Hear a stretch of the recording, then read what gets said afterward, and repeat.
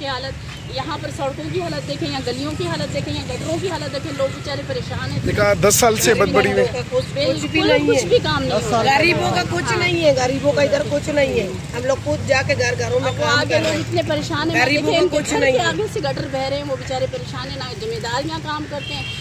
क्या नाम है? डिस्पेंसरी की जगह जिम्मेदार को रखा हुआ है घरों में यहाँ पर। पानी नहीं है, पानी में बहुत तकलीफ़ है।